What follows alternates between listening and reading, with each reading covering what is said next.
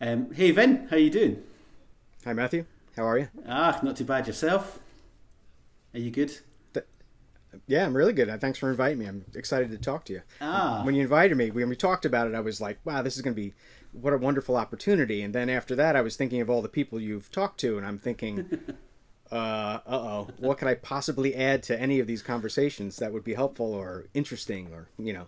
Well, but I'm, I'm really looking forward to talking with you. um, I, I, know you can add an absolute ton of stuff, um, which is hence why I've invited you on. So listen, Vin, I've been a fan of your playing. Um, I think it was Twitter that I uh, first came across your playing. I mean, it's like for some people now, Twitter is like it's almost like the MySpace of you know, like if you know, it's like it's for politics and rants and that's it. But you've occasionally you find some brilliant music on there, and I remember finding um, some stuff you did on there and just been so taken with your playing and. Um, one thing is that you're the first, like you're the first steel string player uh, to come on the Gallery of Guitar. I mean, I've had electric guitarists or, or let's say classical guitarists playing electric and stuff like that on before, but you're the, you're the first steel string player, and it was it was like your posture and the way you approached steel string, which people will see in the video and stuff that you've recorded and all that sort of thing. They'll, they'll see it as soon as it's like you look like a classical player immediately. I mean, if if you weren't like checking the headstock and checking the strings out,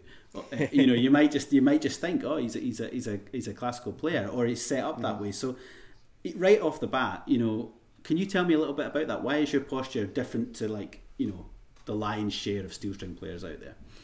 Well, I, I studied classical guitar, so uh, I went to college for a degree in classical music uh, and music education. Yeah. So you know, I, I spent four years studying classical guitar, and, and I, I've kept that ever since. And you know, that posture is just it's just the most natural way to play, I think. Yeah, Because yeah. sitting with the guitar on your leg, or you know, it, it's just back problems and all kinds of you know Yeah, problems yeah. with with the arms. It just you know, it always worked for classical players, so why not for steel string players? Yeah. And you know, I know a lot of players don't do that, but uh, working with Will Ackerman, I know he always played with a footstool. Yeah. And you know, he's not a classically trained player, but you know, I know Yeah. he does it. I don't. I don't know many of others that do it. Some people use a footstool, but for their right leg, which is Yeah, you know, yeah. just a know that- guitar. But I mean, that that's that you know, form is perfect for for steel string playing. Definitely, I, I think. I mean, we've got one player um, here in Scotland, Martin Taylor. I mean, he's he's a great jazz player, and he he Right. often sits. You know, it's archtop jazz guitar, but he sits with it in a classical posture.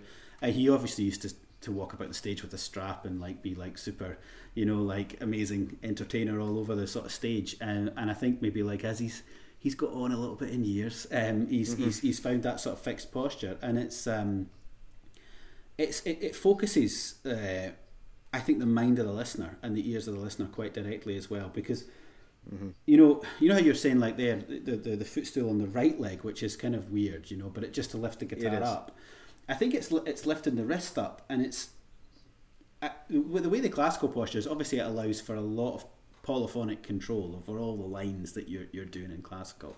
And sometimes with steel string we often think of like okay you've, you've got chords you've got lots of block chords and you're moving them around especially if you're accompanying but obviously your style of playing is from fingerstyle and then obviously has this because you, your, your compositions are I've got quite a lot of like I think a lot of depth to them, and I've played one of your pieces as well in the gallery. I, I love your the way Thank you you for write. that. That I love the way you write, and I Thank think I think it sounds like classical guitar music on a steel string guitar a lot of the time, Mm-hmm.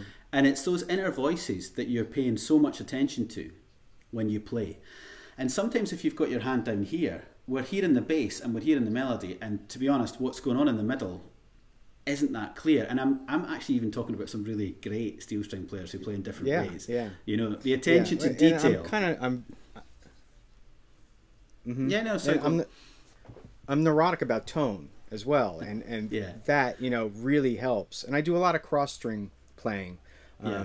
Melody lines cross strings. So I'm using open strings all the time, whether I'm in alternate tunings or I've really gone back to standard tuning in the last few recordings, which I hadn't written in, in forever.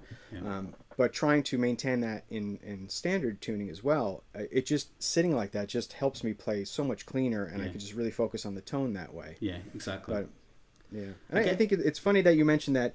You know, uh, uh, someone watching that or listening to a player sitting like that. I think it does command a little bit more. Oh, oh, what, what's he going to do? A little bit more attention because it's you know it's not so casual. I think.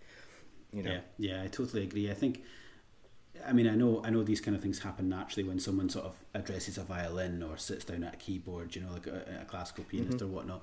Um, and we all do have these associations in our heads, you know. I mean, like I, I, you know, played electric guitar, played steel string guitar, played, you know. I, I don't think there's any guitarist on the planet that hasn't had a go at everything, you know, at some point right. in time. Um, and it's just, it's it's fascinating for for me as a classical player to see your approach to it as a steel string player, um, because it you said when you said neurotic about tone, I'm like, yeah, mm. I, I know exactly what you mean there, and it's it's taking care of every single line and knowing that the, I guess the importance of every line and of every voice that you're playing can have such an impact on the music you're making. When I watch a lot of really gifted, you know, virtuoso steel string players, there can be such an amazing sense of pulse and sense of time, and, and, and some of the things that are going on are just incredibly impressive. Also, though, the more and more and more I listen, and the more I'm looking for that detail sometimes in those middle voices and things like that. Sometimes it is a bit lost, even with some of the greatest players. So maybe it is right. something down to you know th- th- this posture and this angle. I don't know, but uh, I think it really helps. You know, yeah. I, I, especially for those inner voices. Yeah. You know, yeah. And I, I want people to really pay attention to that stuff. You know, because when you're writing that way, you think like, oh, there's this great line in between all this other things between yeah. the bass and the melody. I, I, want people to hear that and pay yeah. attention to it. So it's got to be done cleanly. Yeah, it's not just, and I think that helps. Not just call and response; it's counterpoint as well, and that's kind of you know, right. Like, you know, I, I think sometimes the, the key to sort of really enjoying a melody more, especially if it if it's repetitive and stuff like that. It's a sometimes sure. as, as, with with maybe some types simpler forms of writing it's something that misses. It's like how you treat that that melody differently the second time, and sometimes it's just shaping that counterpoint. You know. Um, right. Right. So listen, sorry, we digressed because I was, you know, it, it's it, it, the posture thing was something that I knew had come to right away. But um, listen, this arrived the other day. nice. I'm glad it made it there. yeah, it's made it all the way, all the way from New Jersey. Uh, to Glasgow in Scotland. Um, so three evenings, literally just released, which is why also I wanted to have you on and um, the, the, the, the piece that you've curated for the gallery guitar, mm-hmm. the tree still thinks of Tom, which is on on this album, obviously in your right. in your in your studio performance, but you've done a, a, a really special one for us, which is great. Mm-hmm. So, can you tell me about about that piece, of course, because that's what everyone's sure. going to listen to, uh, right. and also the album.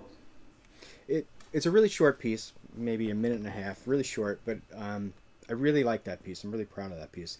And th- there's a story behind it. Um, the tree and Tom.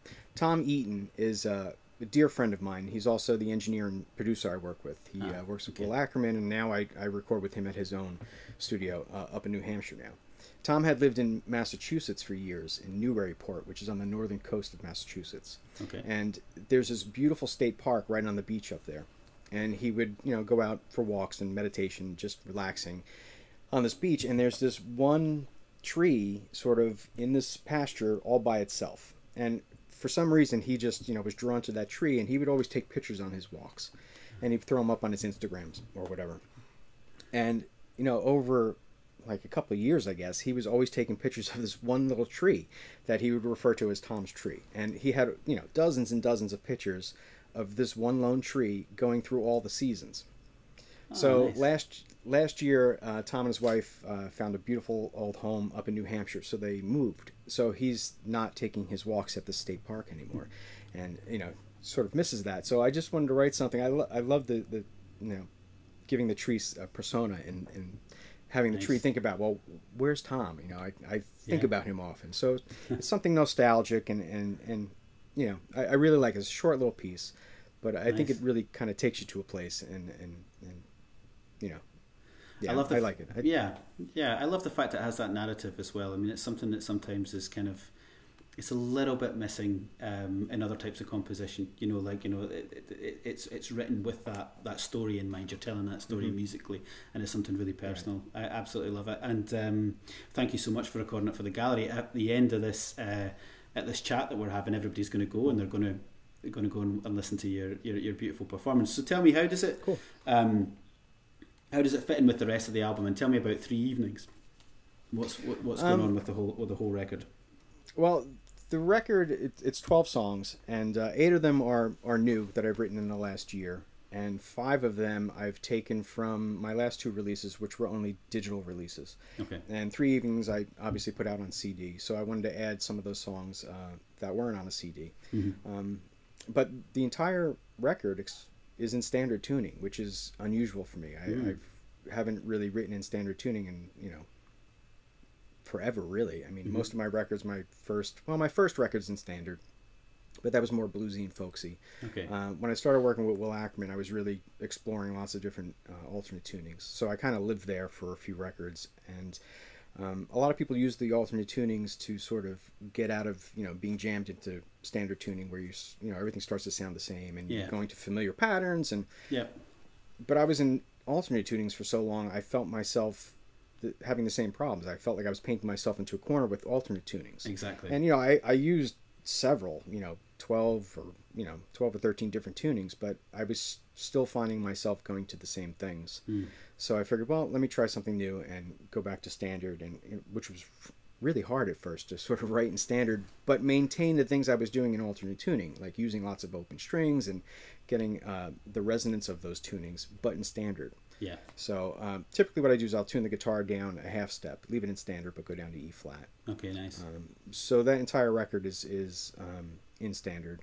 There's one song in drop D, but um, Okay. yeah, it's uh, a lot of the this most of the mu- well, I guess all of the songs that I wrote for this, I kind of wrote over the last year, and I write them in school. You know, because I, I teach high school, so I go in early in the morning and I give myself a good hour before anybody gets into the building, and I sort of got into the habit of writing every day. And Yeah. um, I a remember lot of these pieces came from that. I remember you putting some clips up, you know, uh, just Yeah. just just of like this is a gap between students, or this is like you know some, Yeah, some yeah. someone's basically skipped class, so therefore I can I can write something, or I can uh, like Right, a, it's- a little idea, you know. yeah, it's before school, lunch, prep, whatever, you know, because I have the guitar in my hand all day long, so I want to try to be productive, you know, even though I'm productive in school, but also, you know, Yeah. use the time to to write some stuff. And even, you know, a lot of the the short pieces I wrote for that the study book um, Mhm. came out of that as well. And I also started um, a newsletter every month through my website, where each month I just uh, I'll give everybody a free piece. So I'll write a very short piece of music every month, and you know, uh, give out the notation and tabs for that Yeah, nice. so a couple of those pieces actually came from those free pieces, short pieces that I just Ah, kind of okay. built up a little bit more Lovely. um, and made them a little bit longer. Um, Yeah. yeah, yeah. Ah, so nice. I'm, I'm proud of the record. I, I think it. I think the general flow of the record works really well, and Yeah. I, I'm still somebody who loves records. You know, Yeah. uh, listening to an entire album to see the arc of the record and, and where it takes you. yeah. Like the whole single thing nowadays is kind of confuses me. Yeah, It's it's, frustrating. yeah. It's yeah, you can do. I mean, a lot of things can work with no context, and but sometimes just com- completely can't. You know, and um, and take on all sorts of different contexts. You know, when you Mm. just hear them as, as, as separate things or embedded in really random playlists. You know, and, and stuff like that. So Right. it's it's it, it is nice to hear something. I mean, I put it on and it just the, when you said flow or arc or something like that, it just Mm-hmm. has a really gentle. Uh, build to it and it just kind of like falls away towards it. It's, it's gorgeous. I mean, it's it's it's a really beautiful it. Thank record. Really, really impressed actually. And it's so Thank nice that you um, you have a piece dedicated to the producer on it as well. So you know the tree still thinks of Tom and Tom Eaton being the Yeah. producer. Have you worked with him I- for a long time? Yeah, um, like I said, Tom has worked with Will Ackerman for a number of years, and Will Ackerman was the founder of Windham Hill Records. If anybody's familiar with Windham Hill, that was Yeah. the, the huge instrumental record company, seventies, eighties, into the 90s Mm-hmm. um, enormous. Um, Mhm. So Tom's worked with Will for, I guess, maybe since 2012 or something. Mhm. Uh, I first recorded with Will and Tom uh, 2013. I started working with them, Mm. and Tom and I, Tom is an incredible composer, musician. He's a piano player, keyboard, synths, all that stuff. Plays Ah, bass, plays guitar. He plays a little of everything. Right. Brilliant, brilliant, brilliant composer. And as an engineer, he's just a genius. I mean, the guy is just a genius uh, to to get the sound. I mean, for, in acoustic music, he is he's the guy. Yeah. Okay. Um, but we really clicked when we first started working together. I think we share a lot of the same music musical sensibilities. nice. So he's very comfortable to work with, and I think we just make a really great team. Mhm. So you know, yeah, it's I, I can't imagine recording with anybody else at this point. Yeah. You know, It's so nice. He just knows me well enough to Yeah. make it really easy to work in the studio. Yeah. You know. It's it's sort of gold when you find someone like that, you know, that you can Yeah. that you can totally trust and that you have this working relationship with that you can be so comfortable in and so proud of, you know, because I think a lot of people don't necessarily know the role of a producer or like they, they think it's Right. kind of uh, it's a super commercial sort of corporate music business kind of thing. But actually like you know um, like I work with Uros uh, Baric a lot who's an incredible Slovenian guitar player in his own right but he also is like you know the owner of a record studio and he's a great engineer. And it's um, it's a friend, you know, and it's a musical friend as well. It's someone that, like, if you didn't record the records with them, you might end up playing music with them, or you might end up Right. being in other, you know, types of partnerships with them artistically. It's uh, it's it's finding someone who actually, you know, isn't just sitting going, well, I can get this from A to Z or A to B. Do you know what I mean? It's someone Right. who really cares about what you're doing. I mean, you can hear that. Right. You can hear it's it's it's, Yeah. it's such a nice. Uh, it's such a nice relationship that you've obviously got musically. So, congratulations. And what you said, thank you. Uh, what you said about trusting. I mean, that that's the big thing, being able to trust the person you're working with. Because for myself, I mean, I'm I'm my own worst horrible critic. I mean, I would just trash everything that I do. You know, it's just never ever clean enough. It's never good enough. And I Yeah. fully trust Tom now to just tell me, nope, we got it. That was it. Or, or change something in the composition too. I really trust him to say, well, try the phrase this way, or end the phrase that way, or mm-hmm. add one note here, or one note here. And it's amazing. He has such great ears that it could be something as simple as literally one note in a phrase. Yeah. He would say, change it or do it this way, and it completely changes the song, you know, or the piece of music, or the you know, it, it's Mm-hmm, Yeah. amazing. So, being able to trust somebody like that, oh, it's wonderful. It's Yeah. just, it's yeah. Yeah. Well, you can also you can also tell that you've got great ears as well. That's that's in evidence throughout the, the whole recording. So back there, you mentioned um, I think when you were talking about like writing and, and finding time to write at school and stuff when you're teaching. You mentioned the study book, and this is when you wrote the ten studies for classical mm-hmm. guitar, right? Okay, so tell me Right. about this. Mm-hmm. Tell me about the, the teaching you do and, and the classical guitar teaching you do, and, and beyond the, the, the, the guitar orchestras mm-hmm. you've got there and stuff. That's another thing that you know really drew me to sort of your output as a musician um, when I sort of you know started spying on you after meeting you on Twitter. um, what, what tell me about that? Like you know, so the study book and the, and the guitar orchestras and stuff. Okay. Uh, well, I've been teaching in public schools since 1995, and the first 17 years 17 years of teaching, I did general music uh, in elementary schools here. And our elementary schools go pre-K to grade eight, so you're talking four-year-olds to 14-year-olds. Okay. And I did everything from general music class to teaching choir uh, to teaching band. You know, and every year of that, I would ask my supervisor, you know, could I please start a guitar program, even in the elementary school? Please let me start, you know, teaching guitar to kids. And my supervisor at that time, she had known me when I was a, high school student because I'm teaching in the same town that I grew up in. So Okay. after like 17 years, she finally said, Well, there was a guitar class at the high school before school in the morning. It's now defunct. We have a few guitars. I'll send them down to you. So I started a club in the elementary schools for a couple of years. We had a changeover of supervisors, and uh, the new supervisor said, Well, how would you like to come up to the high school and start a guitar program?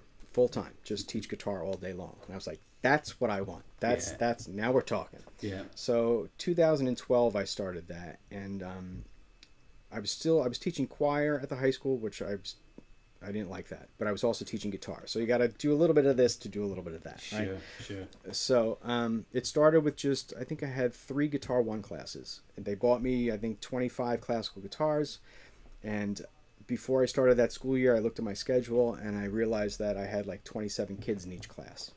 So I'm now I'm Wow. like, great, I'm going to teach guitar, and now I'm like, great, well, how am I going to do this? You know, how do you teach classical guitar to th- you know? So I Yeah, figured, well, let me, yeah. Yeah, yeah. So I, I figured, that's like let my me idea just, of hell. yeah, yeah. Uh, so I thought, well, I have to. Do I want to teach like a little bit of rock guitar, a little bit of this guitar? a little- I figured, let me just do classical Yeah. guitar. Everybody's gonna do the same thing. I had guitars, I had footstools. Now I had to figure out: is there a curriculum out there that was sort of written for classes? Because Yeah. you know, I, I didn't know of anything. Um, I found the the Austin Classical Guitar uh, group has a something called GuitarCurriculum.com. That's so right. it's it's online. It's a great curriculum written for guitar teaching guitars to classes. Mm-hmm. So everything is written in trios. Um, it's got great lessons. It has you know tons of free music. Um, so I started there, and I, I worked that maybe the first couple of years, and then they they had asked me if I could perform with the kids, and I was thinking, I don't know how I'm going to pull that off. but I put something together and I pulled it off. Did all classical music, easy stuff with about 15 kids.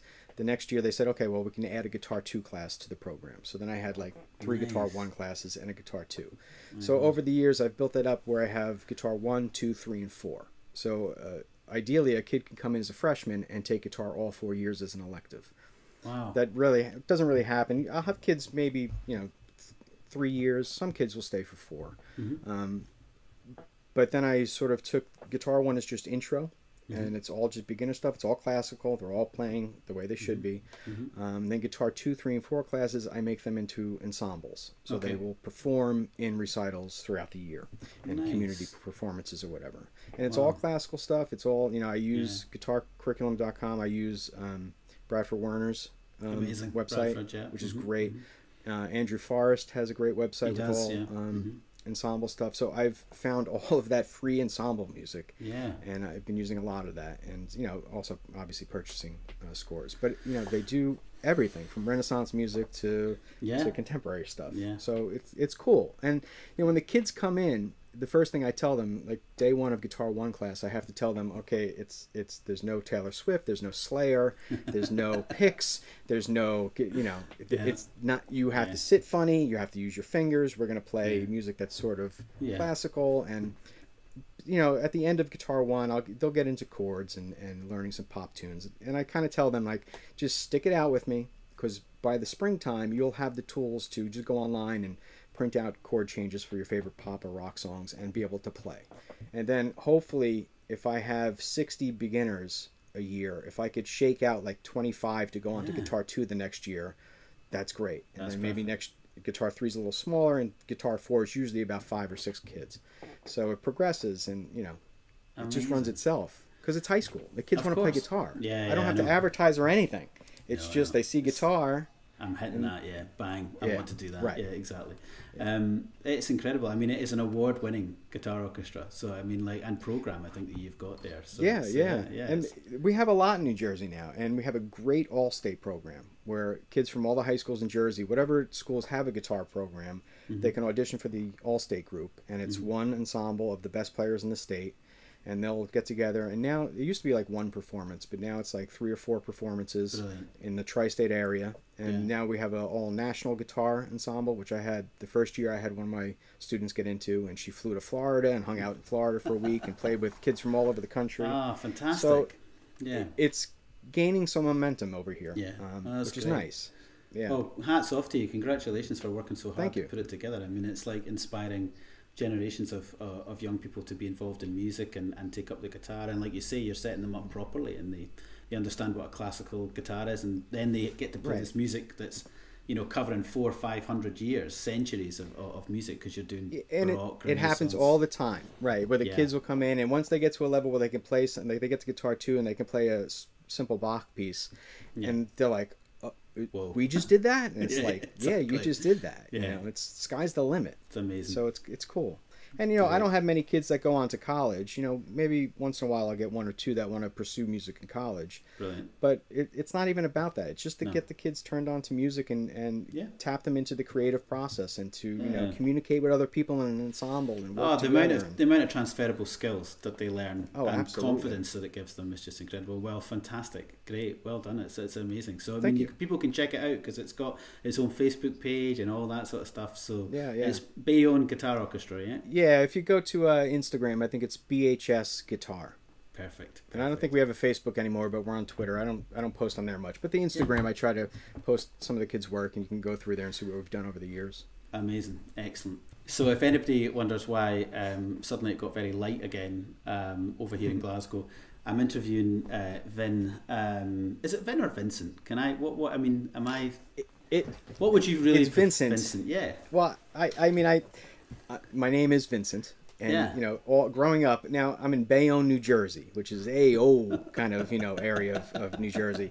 So growing up, everybody called me Vinny, Okay. and like I never, I never liked that. No, I can imagine. And then I went to college.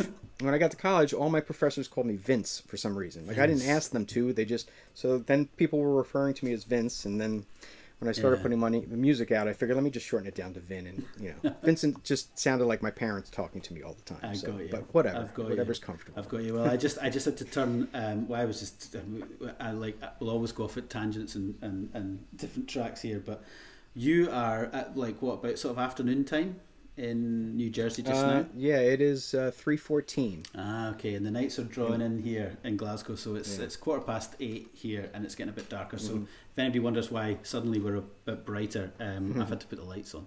Um, but uh, if I had a name like Vincent, I'd go by it definitely. But I understand. Yeah, I understand in New Jersey. Vinny, that would, that, yeah, Yeah. you have to get away from Yeah. it somehow. Yeah, yeah. I can Trying to convince people that I was actually Irish was, you know, my whole life was like hard. It's like, no, you, you're Italian. You're Vinny. Vinny, I'm like, yeah. no, I'm not. I'm, you know, So listen, funny. this um, this Irish connection, this affinity. I mean, I, I could kind of hear it anyway in a lot of your playing, and I mean, obviously you've you- you've you've you've played some Celtic-y kind of trad stuff as well on on on, Mm-hmm. on steel string. But um, is there is there any heritage there then? Any Irish blood or Scots blood? yeah, or why? my my father's family's from Ireland, Okay. so he was first generation American, and his parents were deceased before I was born. But you know, just my father had, was really proud of his his Irishhood. You know, uh, so growing up, it, it's funny because my, my parents weren't musical at all. Uh, my father.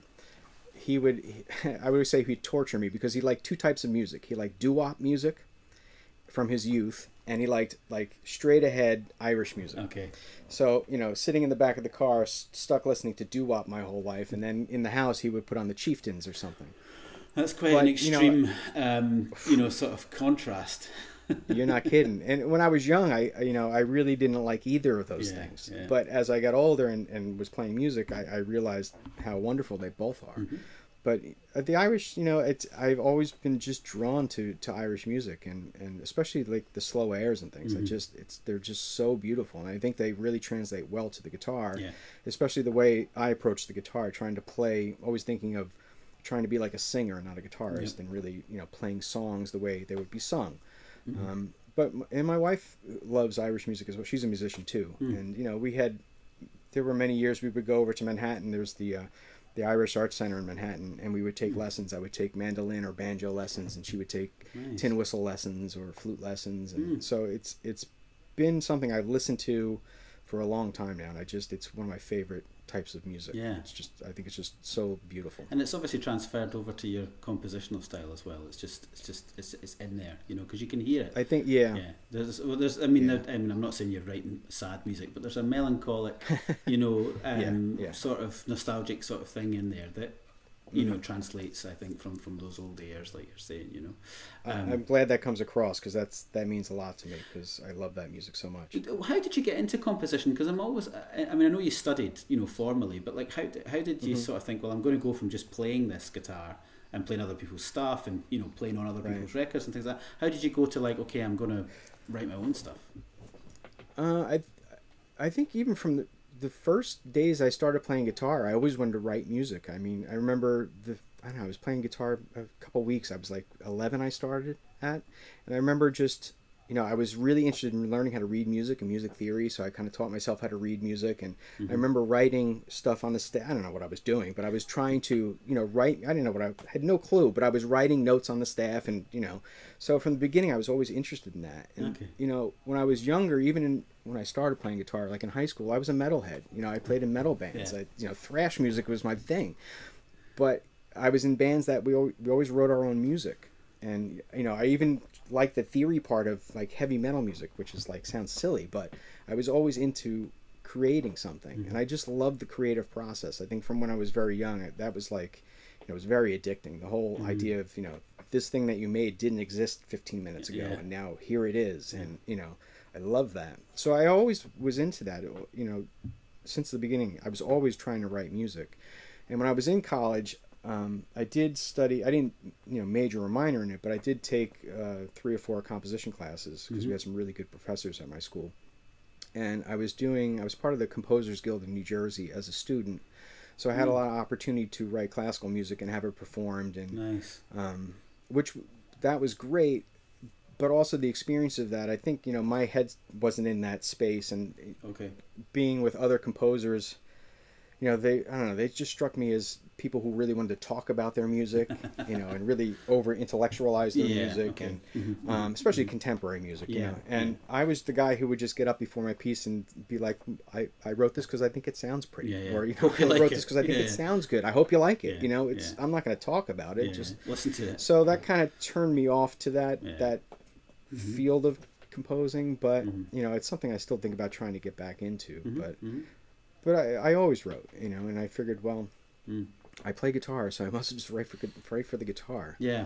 Um, it- it's interesting, you know, what you're saying there, those early, early experiences, and also, I guess, you know, opportunities that you had with the um, the Composers Guild, but then also it being sort of like, oh no, where do I fit in this? Because it's so, Yeah, um, you know, it's very wrapped up in itself, and uh, you know, these sort of like 15 minute explanations about why the two minute piece you're about to hear, you know, sounds the way it does, and right. you're just like, okay, this this, this is like four times longer than the actual performance itself, you know.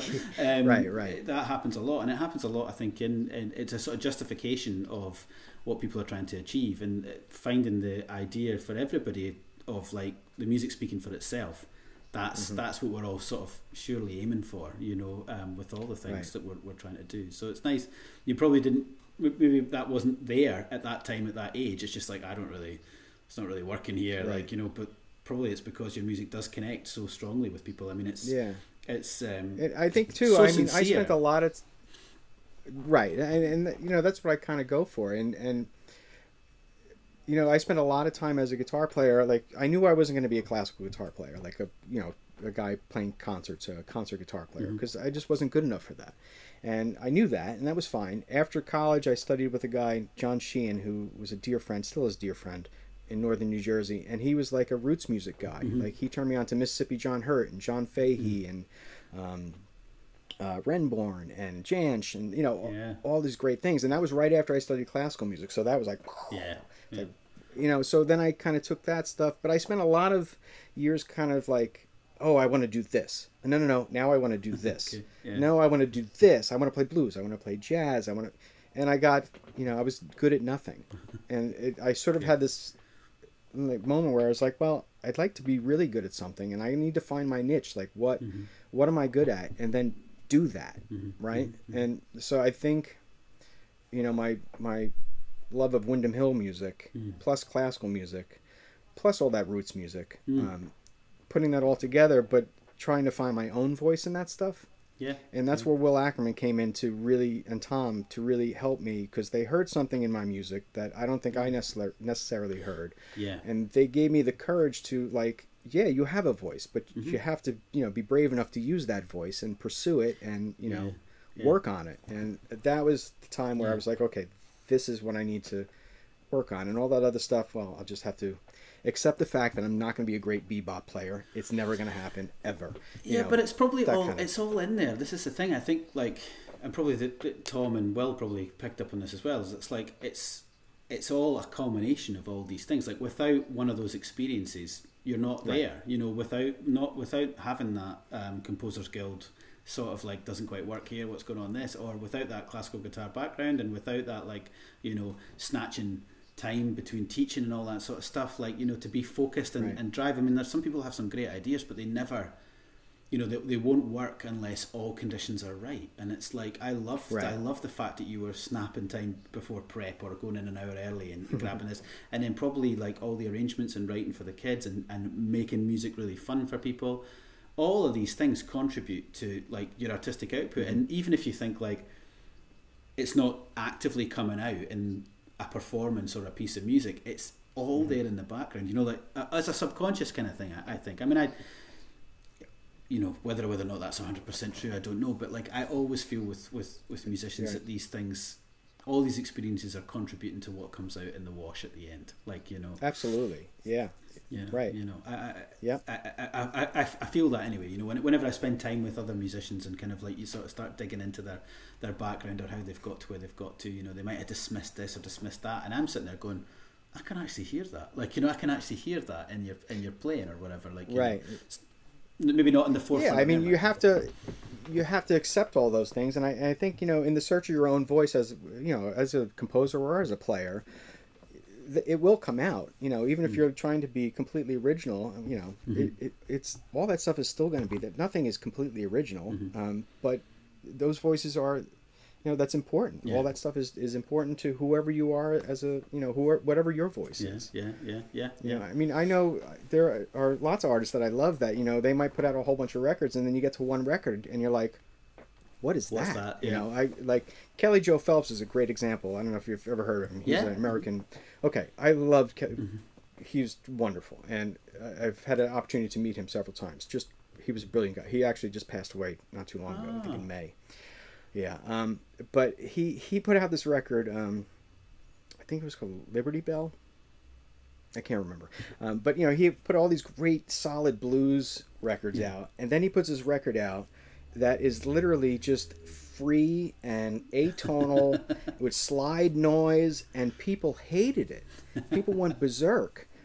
And then the next record he did was like a gospel record that was just beautiful. And you know, I'm trying to tell people like people I've had this discussion Yeah. with who are like, "Oh, that record was awful." I'm like, "But the record after that you love so much would have never have happened if he didn't make this Yeah. crazy record because as an artist at that time, that's what he had to say. That's what he had to do. It had to come out in order to get to the next thing. Yeah. And you know, that's part of that. It's you know, all those things are in you and it's going to come out somehow. Yeah, yeah. It reminds me a little bit of the um, Pat Metheny record with the ah with the baritone guitar. I can't even remember the name of it now, but it's all sort of it's all just like quite like one take kind of things. Just like Yeah, yeah. you know on baritone guitar, pretty straightforward, but just all just him just kind of noodling on tunes. Really, like it's really Yeah, it yeah, almost yeah. feels like I'm like. Were we meant to hear this? Like you know, like was this meant to be? right, right. Was this actually meant to be released? And and you never know. I don't know all the things behind these. Sometimes you find out they're released for all sorts of different reasons by record companies. But I remember, I remember like being really into Pat Metheny and thinking like I like the really kind of far out stuff. The re- like the really the really sort of like ex- trying to expand what's going on. This kind of really kind of modern jazz, and then like that record being like Right. it's just like just strummy guitar record. Like what is going on? This is nuts. Like, yeah, you yeah, know. yeah. Um, but you know, you, you you never know what's going on. Like with, with you never you never know what, Right, right. what people are playing for themselves and what people are playing for the public. Like you know, like what they Right. what you retire to in the comfort of your own home and play for yourself can be very different to what you're actively putting Yeah. out and promoting. You know. So listen, another thing I wanted to ask you about was the guitars that you play. Um, Mm-hmm. Uh, you know, like like who they're made by, what they're made of, all that kind of stuff. Like, because you've got some absolutely beautiful instruments, and we might not see it on this interview because you know the two of us are occupying the screen, so we've got to Right. share it. Yeah. But if you normally see Vin in his room where he records his videos and stuff, his music room, there are just cases lined up. I mean, I don't know. Yeah. There's like I can count 10, 12, probably more than that. But you've got Yeah, yeah. You're Too many. making me That's jealous. There are you too know, many. Making me Yeah, jealous. nah. I need to thin the herd because I, there's nothing worse than guitars that sit in cases that don't get played. Right? That's there's nothing worse than True. that. So I've been thinking. Of, I need to get rid of some of these. Uh, the main guitar I use is a Furch or Furch F U R C H. Uh, It's a Czech company. Ah, Um, they they it's a parlor size guitar, so it was a custom build for me, um, and I love it because I like the smaller size bodies. Um, Mhm. It's uh, alpine spruce and African mahogany, but as a um, it's this one right here. gorgeous. So it's and Yeah. it, it's a deep body, so the body is is deeper than an ordinary parlor guitar. So Yeah. that guitar sounds enormous. Okay. Um, and I, I think I received that in 2016, and I, like the week before I was recording, um, "When the Sea Let's Go" that album, Mhm. and I literally just got the guitar a week before, and I wasn't ready to play because I hadn't spent any time on it. But I brought it with me, and I played a couple things for Tom, who was the engineer, and he was like, "Stop."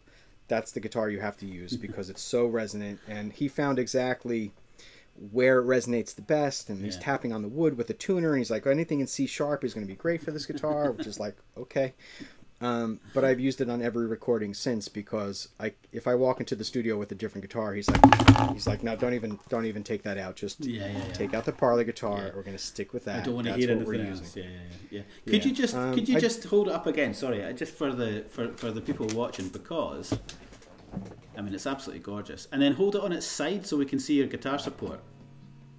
Yeah. Aha. This is a Yeah, it's a, A Gitano. Gitano. Yeah. Gitano. Yeah, yeah. I love them. Yeah. I have them on all my guitars. So Um, all the classical players are just like, oh yeah, we've all got those. Yeah, yeah, yeah. Just yeah, sort of re- the slotted headstock, which is really nice, and it really plays like a classical guitar, and I I really wanted that because, you know, the string spacing and mm-hmm. the size of the neck, it's very similar. It's a little smaller than a classical guitar, but it's very close. And I mm-hmm. don't know all the details because I'm, you know, I'm just like it looks nice and it plays nice and it sounds good. That's all we need to Um, know.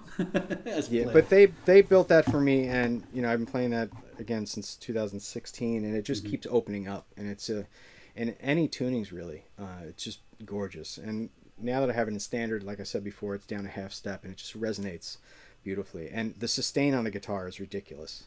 It's just it it just doesn't quit. Nice. So it's it's Beautiful. it's just great to use in the studio, and um, you know on live too. It's it just sounds great. And it has a K and K pickup in it. So that's the main guitar. I have, I just got a McAllister guitar. not me. Funny. no, not me. Yeah, not you. Uh, Roy McAllister's a builder, I believe, out in Washington. Ah, okay. Um, and David Crosby uh, plays McAllister's, and he had he had made me. I was with David once, and he had all his guitars, and he had asked me to. He's like, "You need to play these guitars," Yeah. and he had me play a couple of them, and and I was like, "These are gorgeous," and I'll never own one because they're you know yeah.